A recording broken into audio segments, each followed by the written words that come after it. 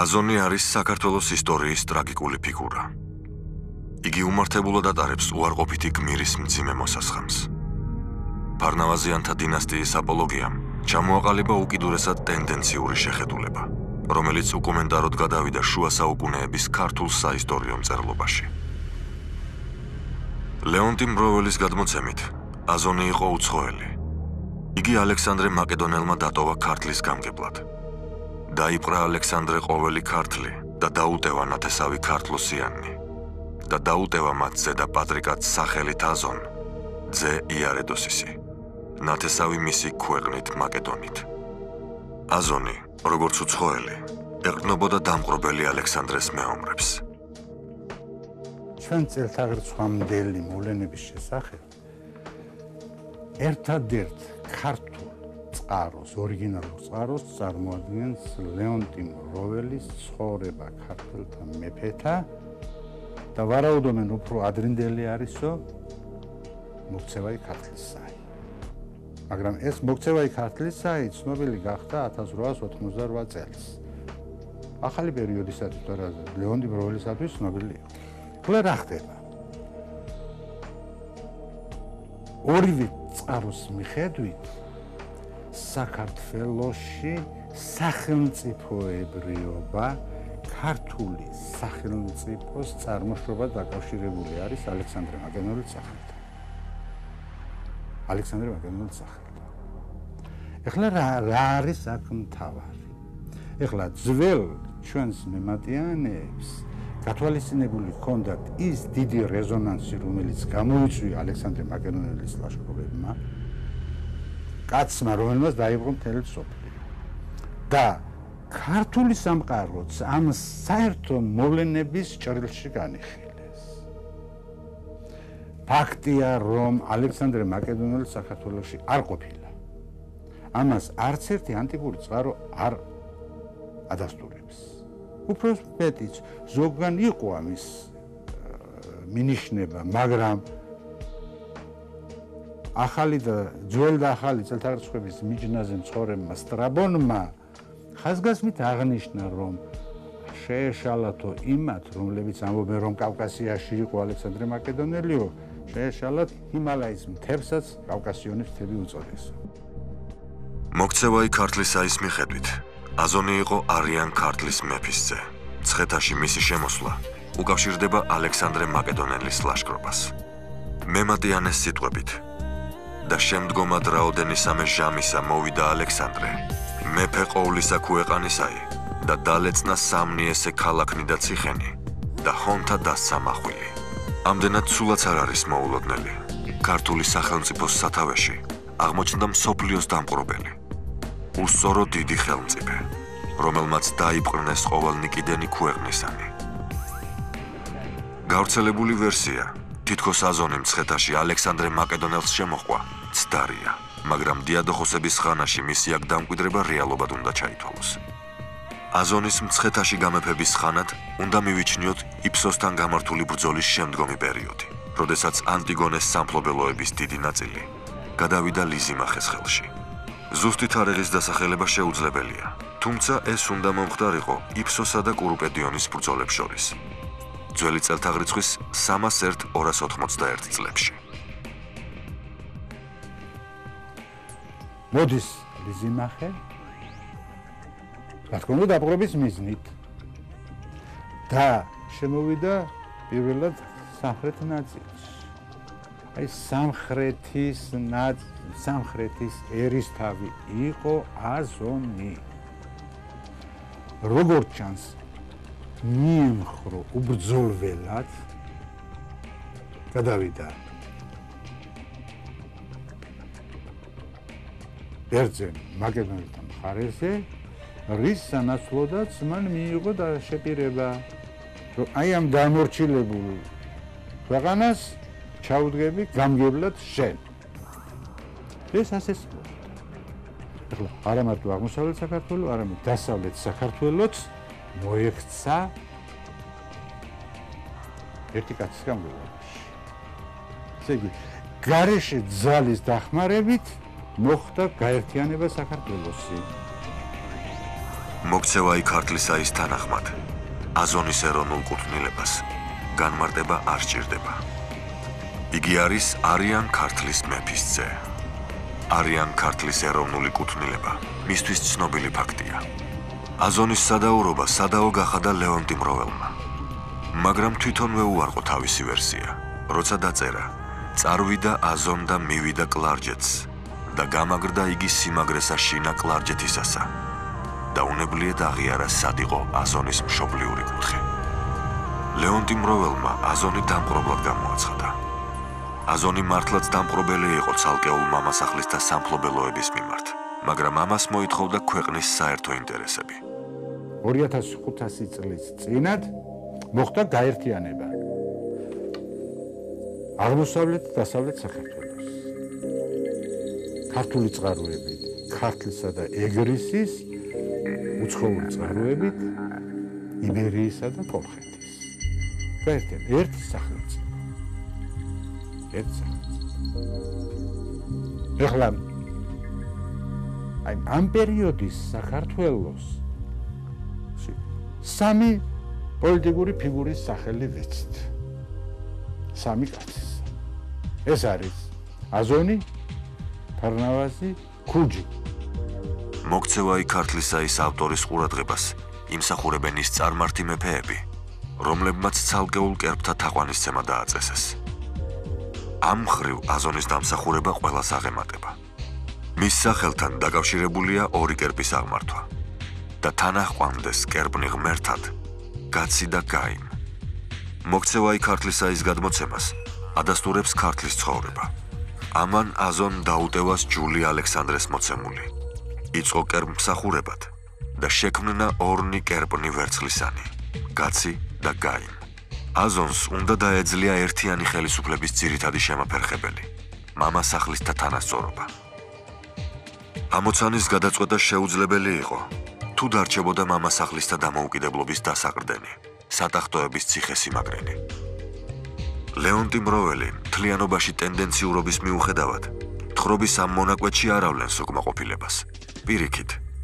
იგი ყოველგვარი შენიშვნისა და საყვედურის გარეშე აღნიშნავს, რომ აზონმა თავის ნებას დაუმორჩილა ქართლის საზღვრები ჰერეთიდან სპერის ზღვამდე.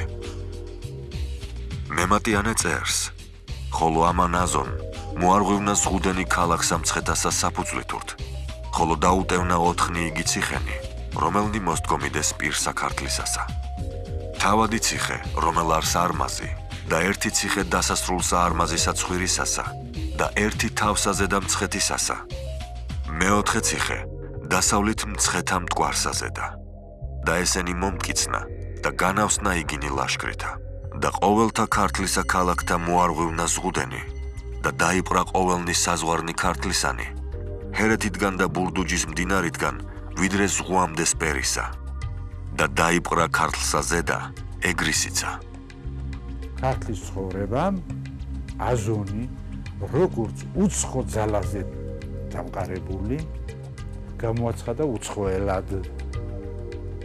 მაკედონელად დამპყრობელად იგი ემხრობოდა ეყრდნობოდა უბრალოდ ეყრდნობოდა. იმ გარნიზონს რომელიც დაუტოვა იმ სტრატეგოსმა. სავარაუდოდ ლიზიმახე მაგრამ აი რაოდენობა არის ცოტა გაზვიადებული. გაზვიადებული. რომ თითქოს დაუტოვა 100000 კაცი. 100000 მეომარი 100000 მეომარი ალექსანდრე მაგადონელოს ყავდა 35000 კაცი როცა ევროპა დატოვა. და ლიზიმახეს 100000 მეომარი ნამდვილად არ იყო პროცესი ითვალისწინებდა ერთიანობის ეროვნული ცნობიერების ჩამოყალიბებას. აზონმა გარკვეულწილად შექმნა კიდეც ქართულთა სახელმწიფო. ნიკო ბერძენიშვილის აზრით, ფარნავაზი აზონის შექმნილ სახელმწიფოს ეუფლება, რეფორმატორობს და არა სახელმწიფოს ქმნის. იგი დასცენს იმისათვის, რომ ფარნავაზის სახელმწიფო მშენებლობა რეალურად წარმოვიდგინოთ, უნდა დაუშვათ, რომ ქართლი როგორც ქვეყანა ორგანიზებული იყო, რომ ეს ხევები თავისი ხელისუფლებით უკვე უნდა არსებულიყვნენ, ისე რომ სახელმწიფო ჯერ კიდევ არ არსებულიყო. ლეონტი მროველი აზონის მიერ რომაელთა მიმართ მესისხლეობის გამოვლენის ჩვენებით ამთავრებს მისი მოღვაწეობის აქტიურ პერიოდს. მომდევნო თხრობა ფარნავაზის ცხოვრებისა და შეთქმულების მზადების ამბებს შეეხება. ლეონტი მროველი არ ასახელებს, მაგრამ მისი მსჯელობიდან კარგად ჩანს, რომ შეთქმულების იდეა უშუალოდ აზონის გარემოცვაში ჩაისახა. შეთქმულებს სათავეში ჩაუდგა ცხეთის მამასახლისის ბრძოლის ველზე დაღუპული სამარას ძმის ძული ფარნავაზი. დაიწყო ფარნავაზმა მზადება, საიდუმლო მზადება აზონის წინააღმდეგ. მოციქულები გააგზავნა სელევკიდების სელევკიდებთან, ესე იგი ამ დროს ანტიოქოსი. მეფე ანტიოქოსთან. დიდძალი ზღვენი და დახმარება დახმარება ქართლის ცხოვრებაში წერია რომ ანტიოქოსმა შეიწყალა ეს მიიღო ეს საჩუქარი თვითონაც გამოუზავნა ძალიან ძირფასი რაღაცეები და აღიარა მეფედ და შვილად თვისად. შვილად თვისად აღიარება ნიშნავდა ეს ჩვეულებრივი მოვლენა იყო სელევკიდების სამეფო კარზე. შვილად რომ აღიარებდი, ესე იგი შენ ხარ მისი ქვეშერთო. გართლის ცხოვრებამ ერთიანი საქართველოს პირველ გვირგვინოსნად ფარნავაზი დააკანონა. ფარნავაზი იყო მამით ქართველი, ქართლოსის შთამომავალი, ხოლო დედით სპარსი. ლეონტი მროველის მიხედვით ფარნავაზის მამა და ბიძა, ცხეთის მამასახლისი, ალექსანდრე მაკედონელმა მოაკვლევინა. დედამ პატარა ფარნავაზი უცხოეთში გახიზნა. რამდენი ხანი დაჰყო ფარნავაზმა იქ უცნობია. ვიცით რომ ცხეთაში უკვე დავაშკაცებული დაბრუნდა. ესე ფარნავაზ იყო კაცი გონიერი, მხედარი შემმართებელი და მონადირე ხელოვანი. ამ ღირსებების გამო იგი დაიახლოვა აზონმა. აზონთან სიახლოვე საფრთხეს უქმნიდა ფარნავაზს. მის მფარველად ამჯერადაც მისი დედა, ჭკვიანი სპარსელი ქალი გამოვიდა. მან ურჩია ფარნავას მცხეთის დატოვება და სპარსეთში ბიძებთან წასვლა. ფარნავაზი დაეთანხმა. თუმცა როგორც ლეგენდა მოგვითხრობს, მან ნადირობისას დიდძალ განც მიაგნო, რამაც სპარსეთში წასვლა გადააფიქრებინა და სხვა გეგმები დაუსახა. გამოვიდა სანადიროდ დირომში დაჭრა ირემი და დაედევნა ვერ მოკლა ერთის როლით დაედევნა მირემს და ბოლოს ახლა დაიცალა სისხლიდან და დავარდა. ამ დროს გაწვიმდა გამოქვაბულივით იყო რაღაც და შეაფარა თავი. იქ კედელი იყო ამ კედელს კრახელიო შეინგრა კედელი. რას ხედავს? სავსე არის ოქროთი. ოქროთი რაც ზიდა გამოიღო, შემდეგ ორი დახავდა დედა და ეს სამი ადამიანი, სამი ოთხნი, დედა, ორი და და პარნავაზი სამი ღამე ეზიდებიან ამ ოქროს. პარნავაზმა გადაწყვიტა აზონის დამხობა. ამისათვის მას ჭირდებოდა ძლიერი და საიმედო მოკავშირე. იმ დროისათვის ასეთი აღმოჩნდა ეგრისის მთავარი ქუჯი. ფარნავაზმა ქუჯის განძის პოვნა გაანდო და აზონის წინააღმდეგ ბრძოლა შესთავაზა. ქუჯი ახტაცებით შეხვდა ამ წინადადებას. ლეონტი მროველს ქუჯი დახატული ყავს ღვთაებრივი თვისებებით შემკულ მამულიშვილად. მისი გადმოცემით, იგი არის ბრძენი, წინდახედული. და რაც მთავარია, ქართველთა ერთიანობის აქტიური მოთავე და მქადაგებელი. ფარნავაზისა და ქუჯის შეკავშირებამ საფუძველი ჩაუყარა ქართლური ტომების ერთხეულად შეკვრის იდეას. ქუჯი იყო აზონის ბატონობით უკმაყოფილო გავლენიანი მამასახლისი. ამიტომაც შეაჩერა მასზე არჩევანი ფარნავაზმა. პირველობას ქუჯი ფარნავას უთმობს და ამბობს: შენ ხარ შვილი თავთამად ქართლისათა და შენ გმართებს უფლობა ჩემი მის წინააღმდეგ შეთქმულების შესახებ არაფერი იცოდა აზონმა. ფარნავაზმა და ქუჯიმ კი შეიერთეს ოსები და ლეკები და აზონის ჯარიდან 1000 რჩეული ხრომიც გადმოიბირეს. აზონმა ბრძოლა ვერ გაბედა. ცხეთა დატოვა და კლარჯეთში გადავიდა. აზონი დახმარებას ელოდა პონტოს მეფე მითრიდატესაგან. თუმცა პონტოელების გართულებულმა ურთიერთობამ სელევკიდებთან მას ეს იმედი მოუშალა. ცხოვრება მეფეთას მიხედვით მეორე წელს აზონის საბერძნეთიდან მოსული დამხმარე ჯარი შეებრძოლა ფარნავას. ფარნავაზმაც მოიხმო ქუჯი და ოსები. ასევე დაიხმარა სომხები და მიეგება ნაკალაკებსა თანაარტანისასა, რომელსა ერქვა კაჭთა ქალაქი. არტანის ბრძოლა ცნობილი ესეთი ბრძოლა, სადაც დამარცხდა და ფარნავაზი ფარნავაზმა გამოიმარჯვა აზო აზომ აზო გარდაიცვალა ამ ბრძოლაში, მოკლული იქნა. აი ეს ბრძოლასაც გარკვეულწილად გარდა იმისა, რომ აქ ყავს თავისი ასე ვთქვათ სტრატეგიული გეგმები ქონდა, რომელზეც ახლა ჩვენ ძალიან ვრცელი საუბარი სამწუხაროდ არ შეგვიძლია წყაროთ არ ქონის გამო, ჩვენ შეგვიძლია უბრალოდ თუ რატომ მოხდა ეს ბრძოლა მაინც და მაინც არტანში, აი ამაზე გავამხვილოთ ყურაკ. ეს ძალიან საინტერესო ადგილი, თავად არტანი არის ძალიან საინტერესო ადგილი. ეს არის ერთი შეხედვით ძალიან ასე ვთქვათ საკმაოდ დიდი ველი, შეიძლება ითქვას, რომ ეს არის ველი, რომელიც რამდენიმე 10 კილომეტრზეა გადაჭიმული. მიუხედავად ამისა, ეს არის ძალიან მაღალი, მაღალი ადგილი, საკმაოდ ცივა სხვადასხვა არტანში და ცივი ადგილია არტანი. მაგრამ თავისი მდებარეობით არტანი არის ისეთი ისეთი გეოგრაფიული მდებარეობით, რომელიც კრავს რამდენიმე რეგიონს, მათ შორის კლარჯეთს, შავშეთს, ტაოს, სომხურ ტერიტორიებს, აგეთ ყარსის ყარსის მხარეს, ჩილდირის მხარეს, ამ დღევანდელი ასე ვთქვათ ტოპონიმები რომ ვიხმაროთ დაახლოებით, აი ეს ამ ტერიტორიების შუაგულშია არტანის ველი. და თავისი მნიშვნელობით სწორედ აქ მოხდა ბრძოლა იმის გამო, რომ აზო, როგორც არიან ქართლის მეფის ძე, ის გაიხიზნა კლარჯეთში. და კლარჯეთიდან აპირებდა აზო უკვე შემდგომ ახალ დარტყმას. და თავარი ისა რომ ფარნავაზი ბოლომდე მიხვა, ფაქტობრივად არტანი არის ეს არის გამყოფი ხაზი ტყვის აუზსა და ჭოროხის აუზს შორის, ხო? კლარჯეთისა ჭოროხის აუზი, სადაც როგორც ჩანს მოიცავდა აზოს ასე ვთქვათ, ამ პაპეული ტერიტორიას, ხოლო არტანი ეს არის ტყვის ხეობა, რომელზედაც გარკვეულწილად ასე განავსო თავის ძალაუფლება ფარნავასმა. და ის მიიყვება ბოლომდე და ეს უკვე ამ შეხების ადგილზე არტანის შუაზე ხდება ის განამწყვეტი ცნობილი ბრძოლა, სადაც როგორც ცნობილია, გამარჯო კიდევაც, გამარჯო კიდევაც ფარნავაზმა და საბოლოოდ წერტილი დაუსვა აი ამ დაპირისპირებას აზოსთა ფარნავაშოლის დაპირისპირებას. ფარნავაზი მივიდა პონტოს საზღვრამდე. იქიდან გამობრუნებულმა კლარჯეთი დაიმორჩილა და მცხეთაში დაბრუნდა. კლარჯეთის დაპყრობით დამთავრდა ქართველი ტომების გაერთიანება. ფარნავაზის მეთაურობით ქვეყანას სათავეში ჩაუდგა ეროვნული ინტერესების გამომხატველი ხელისუფლება. მან გაატარა ეპოქისათვის დამახასიათებელი ცვლილებები.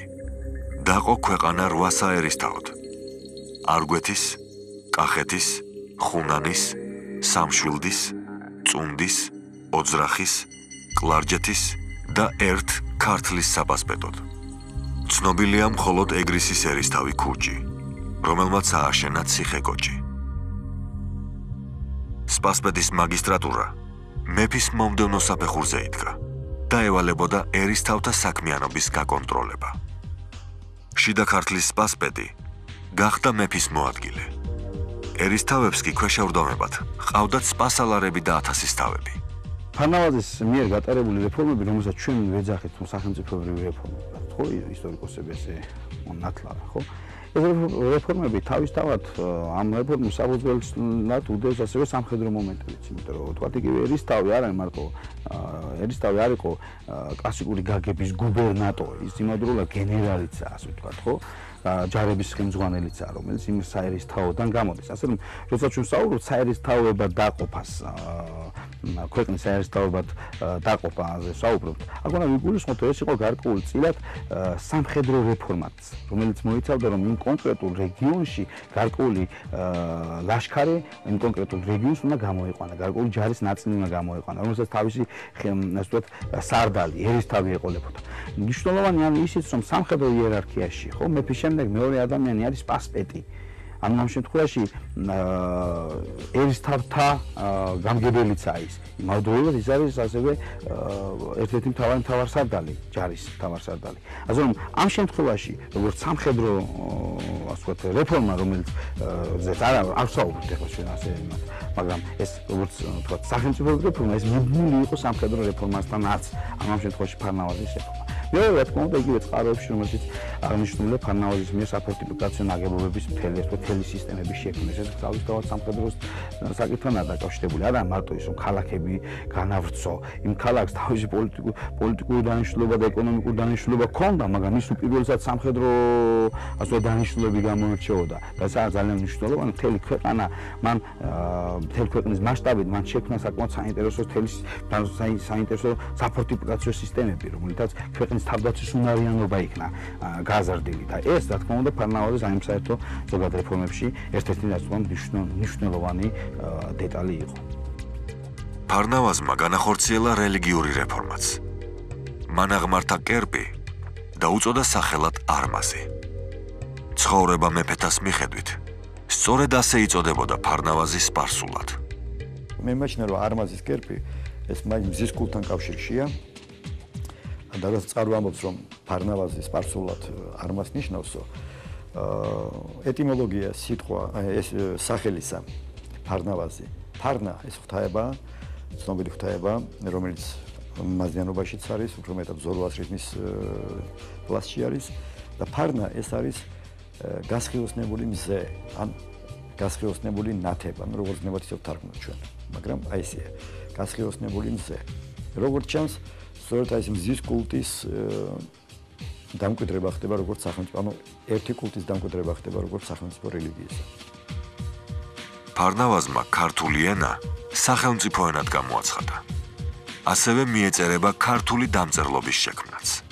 მან ჩაუყარა საფუძველი ქართული სახელმწიფოს დამოუკიდებელ არსებობას. ქვეყნის ადმინისტრაციულ-ტერიტორიული დაყოფა სამეფო ხელისუფლების გაძლიერების ნიშანი იყო. სახელმწიფოში გაბატონდა ერთი ენა და ერთი კულტი. რეფორმატორი მეფე დიდ ყურადღებას აქცევდა მშენებლობის საქმესაც. სწორედ ამ პერიოდში ეს ფარნავაზიდან იწყება სწორედ ეს ქალაქშენებლობის პროცესი. ფარნავაზიდან იწყება ქალაქების გამაგრების პროცესი, მისი სრული სტრუქტურის ჩამოყალიბების პროცესი და ზუსტად ამ დროს ეკრება საფუძველი აი ცნობილ დედაქალაქს ქართლისას მე ზოგადად საქართველოსი, საქართველოს ზუგდა და ქალაქს მცხეთას, რომელსაც ისტორიული წყაროები უწოდებენ დიდ მცხეთას. სწორედ ამ პერიოდში ეღრება საფუძველი. ანუ ის რაც დაწყებული იყო ფარნავაზის წინამორბედების მიერ, მითოსური თუ ნახევრად მითოსური პერსონების მიერ თაქართლზე სრულდება ყველაფერი ეს ამ არაგვის ხერთვისში უზარმაზარი ცენტრის შექმნით. მისი ზეობის ხანაში ციხე-ქალაქების დაარსება და განმტკიცება ჩვეულებრივი მოვლენა გახდა. მოწესრიგდა საზღვრების საკითხი. დაკანონდა მოსახლეობის წოდებრივი დაყოფა. ციგნობრობა ქართულის შექმნა. გზა გაუხსნა კულტურულ სამყაროსთან კონტაქტის დამყარებას. მეფე, რომელიც მართლა ჩანასახორ მდგომარეობაში მყოფ სახელმწიფოს უდგება სათავეში, ახერხებს ისეთი პოლიტიკური ნაბიჯების გადადგმას, შეიძლება პოლიტიკაში, გარე პოლიტიკაშიც. ისეთი რეფორმატული მომენტების გატარებას ახერხებს, ხონიზების გატარებას ახერხებს. აა რაც ეს არის ყველაზე მთავარი. რომ დინასტიაც კი ჩამოყალიბდა. ჩვენ ვიცით ძალიან ბევრი მეფე, არა მარტო საქართველოს ისტორიაში, არამედ სხვა ქვეყნების ისტორიიდანაც, აა როდესაც აა წარუმატებელი პოლიტიკის გამო ან შეიძლება წარუმატებელი პოლიტიკა არა, მაგრამ ვთქვათ, ცუდი მძიმე საგარეო ვითარების გამო აღზევდა მეფე ტახტზე და დინასტია ვერ იქცა, იმითვე დამთავრდა ყველაფერი. ან მაქსიმუმ შვილი ან შვილი შვილის დონეზე. აქ მთელი დინასტია შეექმნა ფარნავაზიამ. ფარნავაზი გამეფდა 27 წლისა და 65 წელი იმეფა. დაკრძალეს არმაზის კერპთან. საისტორიო მეხსიერებამ უცნობი გზის სათავეში ქრონოლოგიური თანმიმდევრობის დაცვით ასაკით უფროსი აზონი დააყენა. აზონის მოღვაწეობამ მოამზადა ქართული სამყარო იმ დიდი ძრებისათვის, რომლის შესრულებაც ისტორიამ ფარნავას დააკისრა.